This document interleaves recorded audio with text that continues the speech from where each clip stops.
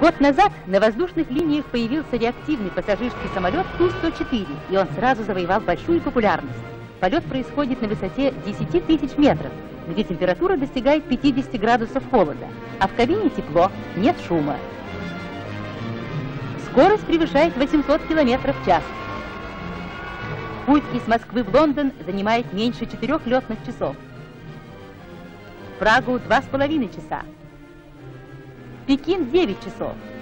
В Дели менее 6 часов. Ту-104 способен летать в любое время суток в самых сложных метеорологических условиях. За создание этого скоростного реактивного пассажирского самолета его конструктору, академику Андрею Николаевичу Туполеву, присуждена Ленинская премия.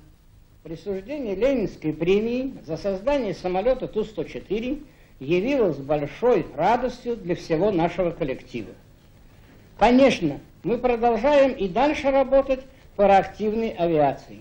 И в этом году выйдет в полет самолет на 170 мест.